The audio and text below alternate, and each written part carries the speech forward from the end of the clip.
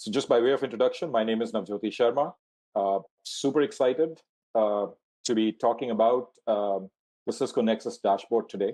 Uh, what I believe is a truly transformative data operations experience uh, for our customers, something that, that you know solves uh, a lot of pain points, and hopefully we'll get our customers excited in terms of you know operationalizing their data center infrastructure. Um, brief agenda today. Um, I'll start with uh, an introduction of what we're trying to solve with the Nexus dashboard, uh, you know, some of the features. Um, we're going to do a little bit of a deep dive uh, into the Nexus dashboard, the architecture, um, and uh, just some of the uh, user experience uh, bits that I'm going to share with actual screenshots.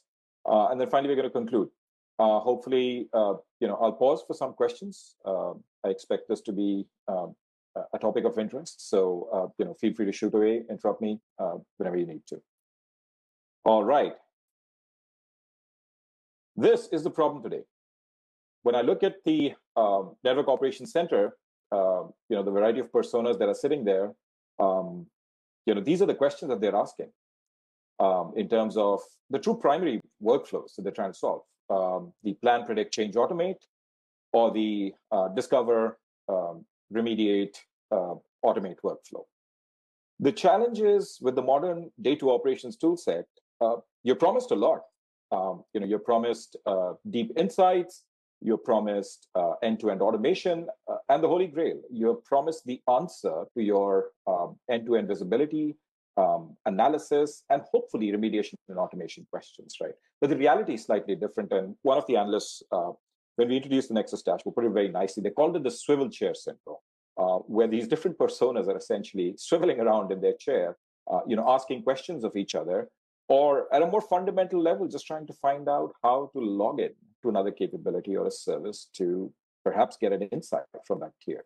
A fundamentally broken um, user experience, uh, not delivering in terms of uh, what the uh, end goals are, which is really low MTTR, um, you know, and um, predictable change management. Uh, two primary things that we like to carry out in terms of uh, the data center operations. Now, if you think about why that is, uh, it's an artifact. It's an artifact of purpose-built silos. It's an artifact of uh, siloed data stacks, of siloed data lakes, uh, of custom telemetry connectors, uh, essentially operating off, um, you know, purpose-built appliances, right? Uh, the the challenge then remains that the you know the cost of the life cycle maintenance of these stacks uh, the capabilities might be rich, don't get me wrong, but the cost of the life cycle maintenance of these individual stacks, the customer's burdened with, right? And that's what we're essentially trying to solve with the Nexus dashboard.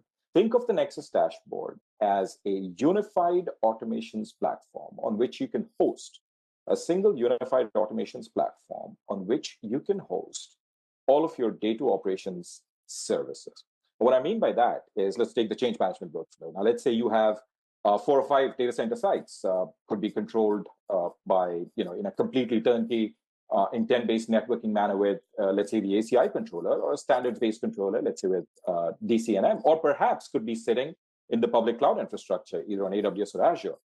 Now, your data center literally is sitting in these variety of places, and you want to operationalize these off a single platform. You want to use the same set of tools um, to deliver insights, rich troubleshooting, capability and hopefully correlated insights that are able to give you an end-to-end view you know of your flows of the state of your uh, data center infrastructure regardless of where it's sitting right? And that's what the nexus dashboard is trying to solve. So let's say you're trying to carry out a change management workflow with the multi-site orchestrator sitting on top of the uh, nexus dashboard platform. Regardless of where your site is whether it's dcnm or aci or public cloud infrastructure you are you have a single pane of glass from which you're able to orchestrate all of these changes with the rich Nexus Insights capabilities, you have 360 degrees telemetry all the way from flow telemetry uh, to the hygiene of a particular device in the network in terms of its operational state, all the way up to the intent plane, right? And you're able to make sure that there is consistency across all these three layers of telemetry, if you will, right? Flow telemetry that tells you the actual device state, policy state, and configuration state being in sync and consistent with the state of your infrastructure. You're able to correlate all of that. You're able to get an end-to-end view across your hybrid, across the entirety of your hybrid cloud infrastructure, right? So this platform enables you to operationalize the entirety of your data center infrastructure by allowing you to co-host and run these rich set of capabilities, um, you know, Nexus Insights, multi-site orchestrator, network assurance engine that are able to give you this rich suite of capabilities with which you're able to a achieve higher uptime, lower MTTR, and predictive change management. Right. Uh, in the future, uh, we are also talking about uh, rolling in third-party um, services for your ITSM integrations um, with uh, things like ServiceNow, and then SIEM integrations with Splunk, right? And if you want to operate infrastructure as code, uh, you know you're able to integrate with uh, Red Hat Ansible uh, and Terraform um, scripts as well. A quick view of what the Nexus dashboard essentially offers you, right? There are two views: the operator view and the admin view. The operator view is very simple.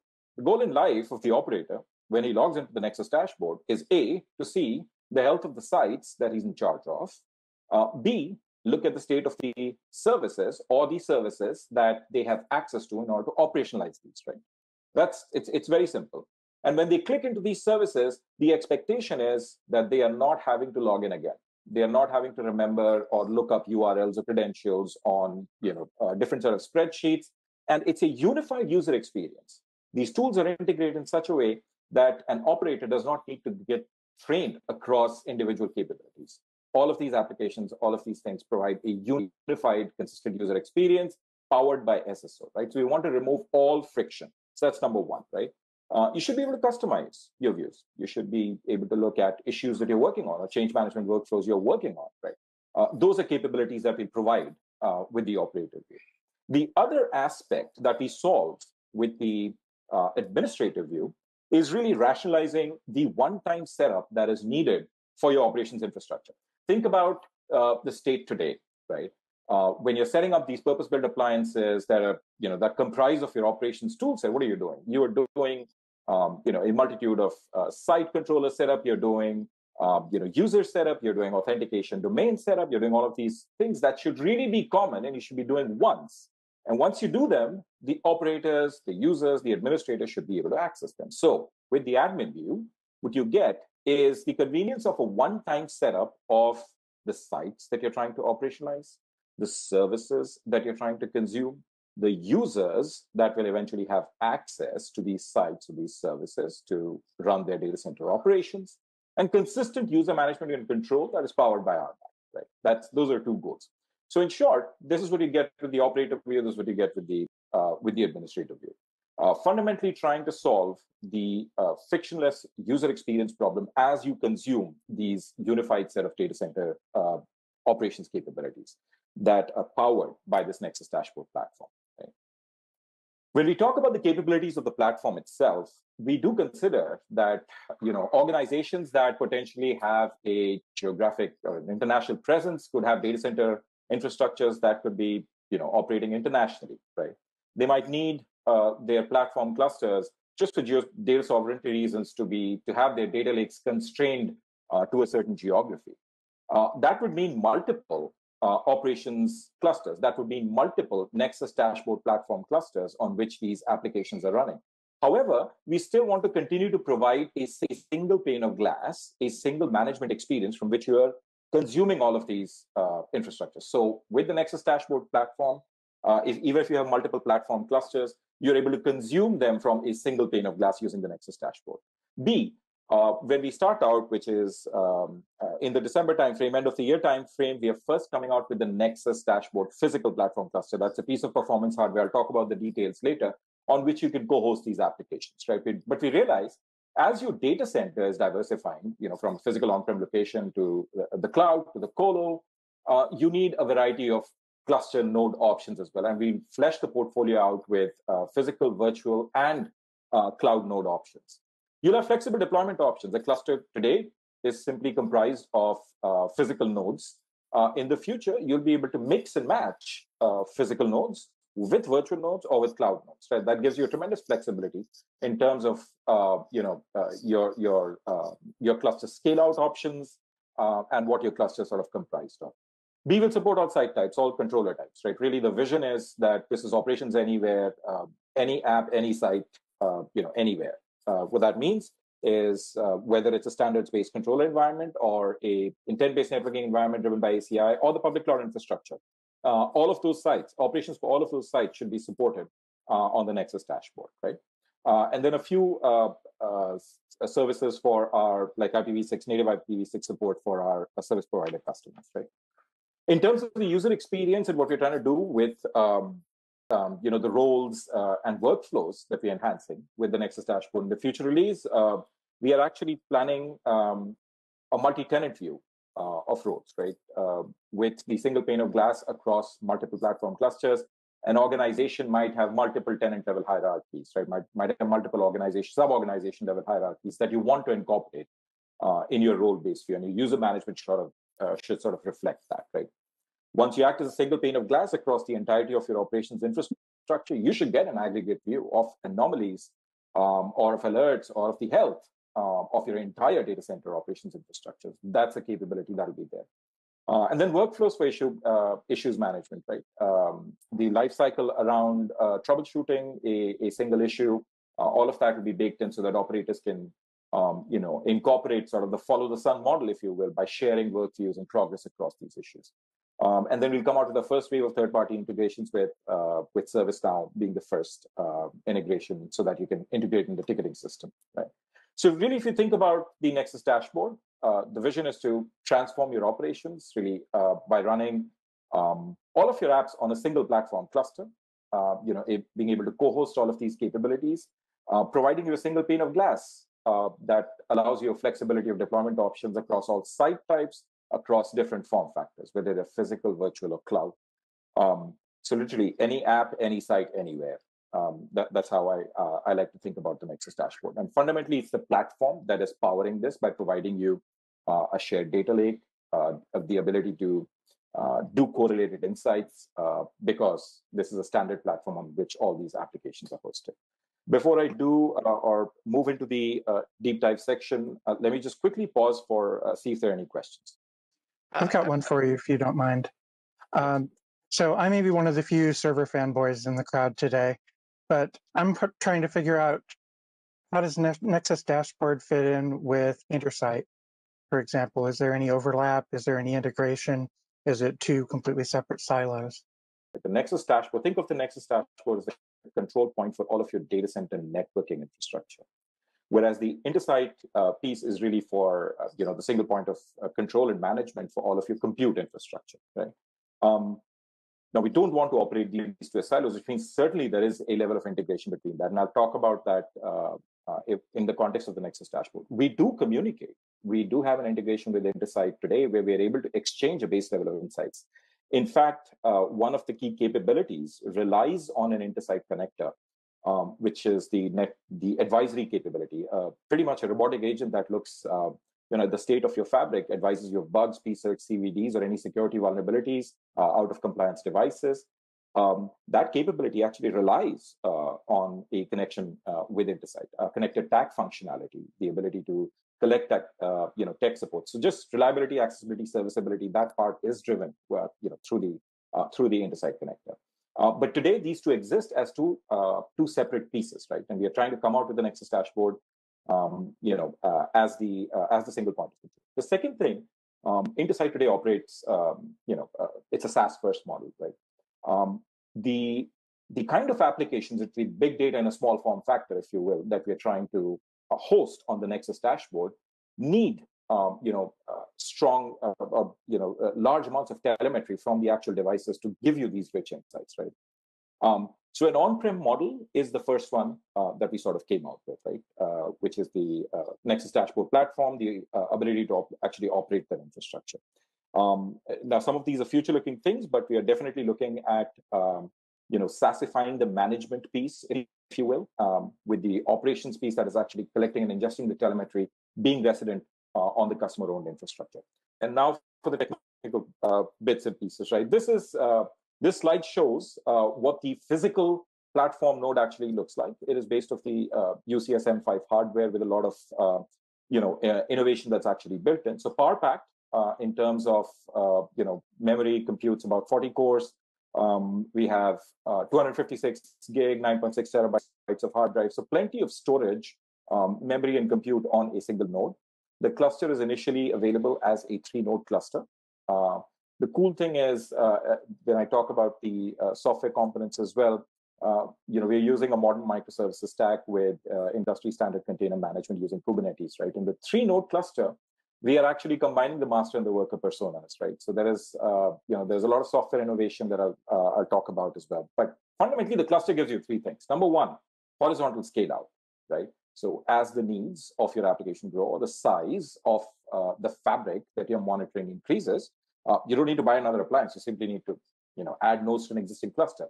A cluster fundamentally gives you uh, high availability, right? With this modern lifecycle management of uh, microservices, um, you know, you're essentially getting uh, high availability sort of baked in um, to the inherent infrastructure.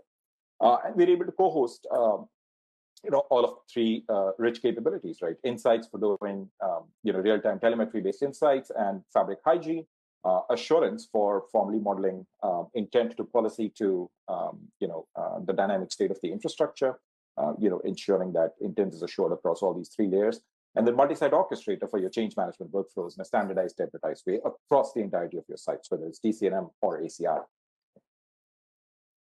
Under the hood, this is what the software stack looks like. So number one, think about um, when the uh, you know what what runs inside a node, what runs inside a platform node. Uh, the, the, the, first piece is uh, the secure container OS called the Atomics OS that we've built, right? Uh, it's a hardened secure kernel that's, uh, you know, its goal in life uh, is to run containers, right, in a, in a secure manner, right? Um, the second piece is sort of the system services where, in order to ensure, number one, the secure bring up of the Kubernetes cluster or the Kubernetes service, uh, and then enabling secure communication, right? CERT-based communication between microservices that that are running on these nodes. Um, you know, you have the Key Vault uh, that is running as part of the uh, system services.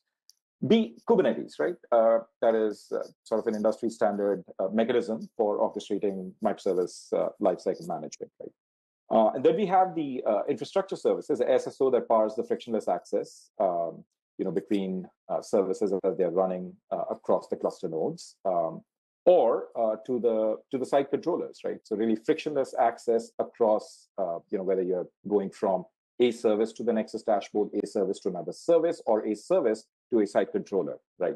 Uh, each of these access points should be completely frictionless. Uh, you know, you should get the right level of privilege based on your RBAC permissions. That's a goal, and that's provided with, with SSO as a as an infrastructure service. And then finally, for standardized northbound access, uh, you know, we have an API gateway. Um, even if you even if you're not doing um, you know UI based consumption and your primary model is programmatic consumption, um, you know there aren't URLs to hard code in your scripts anymore. There aren't credentials to hard code in your script anymore. Right? There's one API gateway from which you're accessing uh, the application endpoints, just standardizing sort of the northbound access, if you will, uh, from the Nexus dashboard. And then a set of shared services that upper layer applications like the uh, orchestrator and the Nexus Insights functionality can use. Um, Elasticsearch for your uh, you know index data lake, uh, search data lake, and Kafka for, for streaming telemetry uh, across these microservices. And potentially in the future, uh, in addition to uh, having API level access, also writing topics to a Kafka broker so that northbound access could be streaming instead of you know just a pull model, right? It could be a push model as well.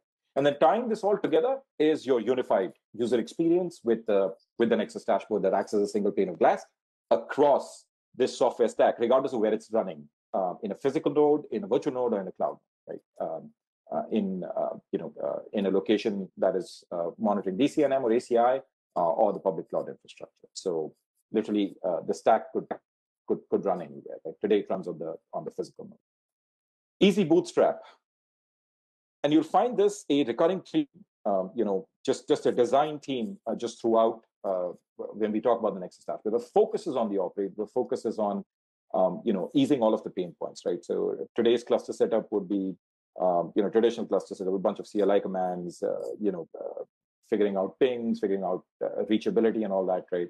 Um, with the easy bootstrap, all you need to do to bring up the cluster is uh, essentially bootstrap one node, uh, you know, take this UI, um, tell the master node, the first master node, which are the two other peer nodes, and that's it. Uh, the cluster bring up happens in the background on its own, right? Um, so a really, really easy bootstrap uh, experience, regardless of where your cluster nodes are actually sitting. Um, the operator view. This is what the operator view looks like today. Um, you're able to view the health of um, the uh, data center sites that you're in charge of monitoring. Um, and this layout is going to change a little bit as we uh, incorporate some early user feedback. Instead of these styles for services, you will see them more inline on the left-hand side panel. Uh, but the operator basically is able to see the sites that they have access to and the services that they have access to. Uh, they could, from this launch button, when you see the site, they could simply click on launch and go directly to the uh, to the ACI controller. No need for logging in again, right? As long as you have credentials, uh, you have the right privileges, you can log in directly to the ACI site. You click on Nexus Insights, uh, directly logged into that capability. You click on multi-site orchestrator, directly log assurance, whichever capability you want to consume, uh, you can directly log in parts versus so into that capability. Uh, now, with the uh, platform strategy, we are also combining. We're also combining the insights functionality. So in the future, you will actually see a single Nexus Insights that combines both the rich telemetry functionality uh, of the NIR, NIA parts and the assurance piece. So it's going to be a single application that's operating off a shared data lake that is able to give you rich correlated insights across time, across uh, event clusters, uh, and across anomalies and insights and events, right? So uh, all of these capabilities will basically be, uh, you know, are, are fleshed out, are happening because we have a platform strategy going forward. Now, in terms of the admin view, I, I did talk about this earlier, where uh, you know we are talking about the one-time setup. So after you bootstrap the cluster, uh, you have a single dashboard from which you can view your cluster health. Uh, if you're familiar with Kubernetes constructs, you know you want to look at stateful sets or your pods uh, or your daemon sets. You have a single dashboard from which you uh, view the health, the number of services, uh, and which pods they're uh, they're essentially running on. Right, so you're able to see all of that, um, you know, cluster health and resources from a single dashboard. Um, in terms of a site setup, um, you know, you are doing that once on an Nexus dashboard platform um, with, uh, with the admin view. You simply set up the ACI sites by providing the uh, you know, username and credentials um, uh, and the login domain that they need to be authenticated against, uh, some base network connectivity for uh, the telemetry, and that's it. Um, this site is now available for uh, multi-site orchestrator to use, for Nexus Insights to use, um, you know, through a single pane of glass, right? and that's that's the power of, of doing this one-time setup. Now think about programmatic consumption, where uh, you know the setup was done on a repeated basis on a per capability level, right? So uh, you do this just once, uh, and as as an application, as an operator, or as a program that is interacting with this application, you simply start to consume, uh, you know, focus on the business logic rather than the setup activities. Um, in terms of setting up uh, services, which is really the capabilities that uh, power your data center operations, right? It's it's very simple. You you just download the uh, the service uh, from the DC App Center. Uh, it's literally like your iOS and app model.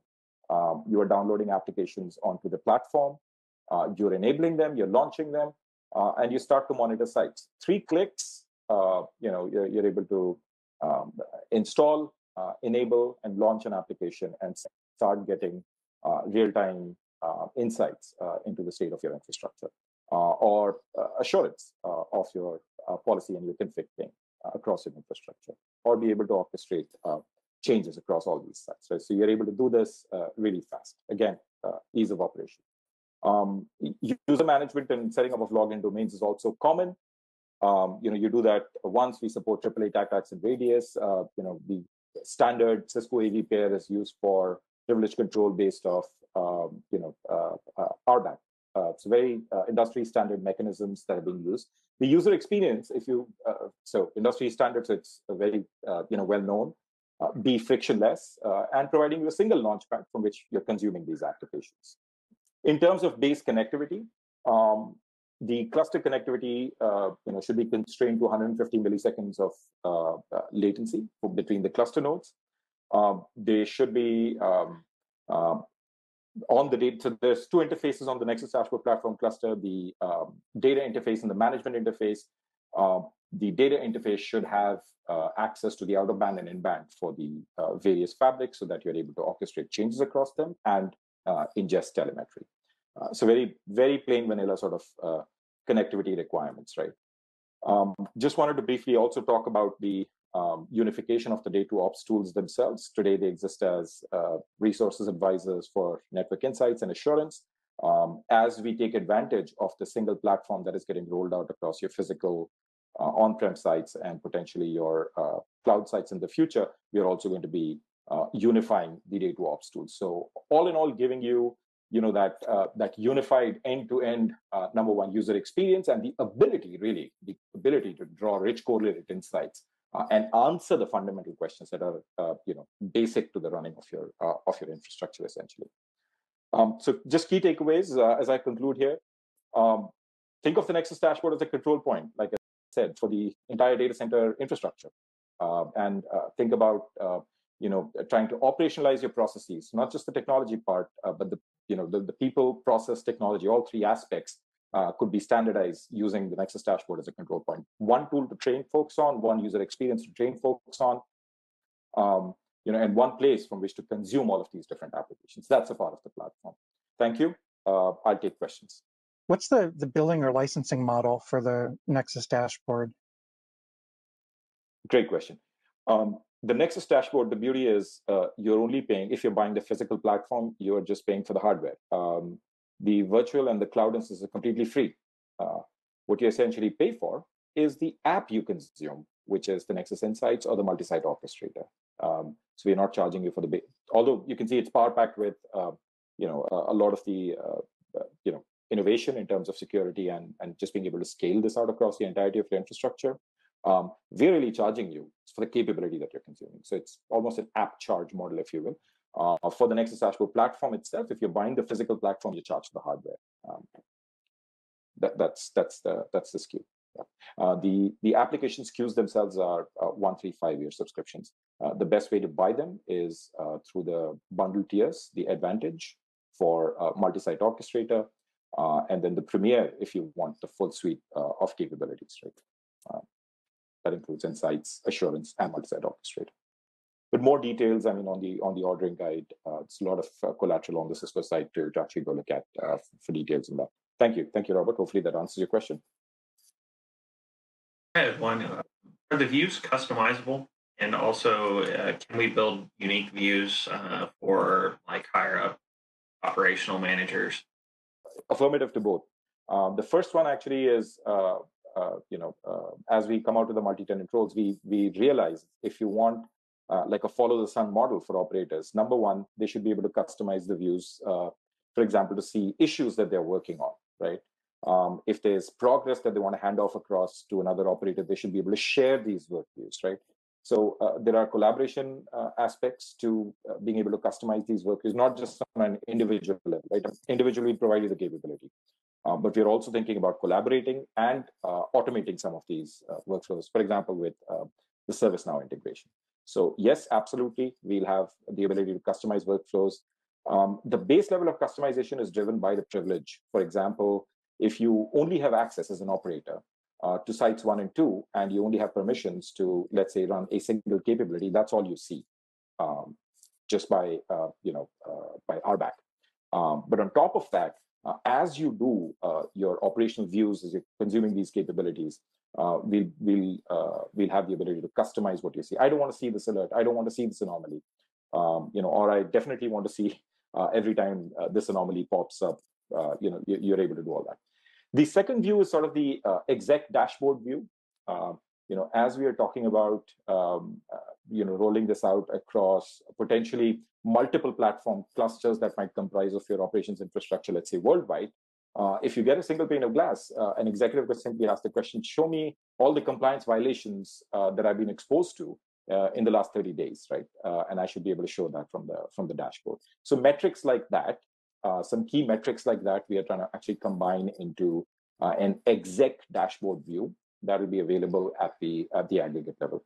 Um, all of this um, we are thinking about the first half uh, of next year. Um, it's actually in the formal uh, sort of commit process. We, we, are going through the um, execution and planning phase on this. But yes, absolutely, that that is the vision. Thank you, Chris, for that question. Yeah. There's not just the fundamental, you know, capabilities. We want to make these sticky across workflows, across consumption models, across the different personas who might interact with these uh, these tools. We want to make it relevant. We want to make it sticky.